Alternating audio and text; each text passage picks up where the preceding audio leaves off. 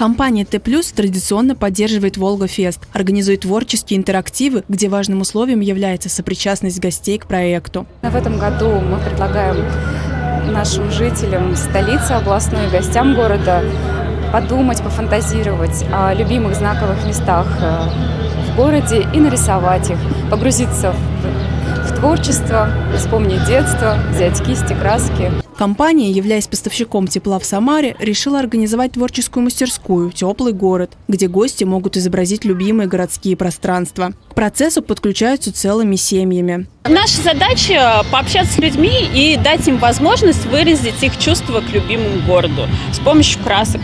Очень здорово как-то пришел мальчик и хотел рисовать звездопад звездопад, и они с мамой договорились, что они вместе создадут картину, когда звезды падают именно на площадь Славы. Получилось очень здорово. Творческая мастерская, организованная компанией Т+, завершит свою работу вечером пятницы, а в субботу и воскресенье будет организована выставка, где можно увидеть готовые работы. Александра Гусева, Николай Епифанов. События.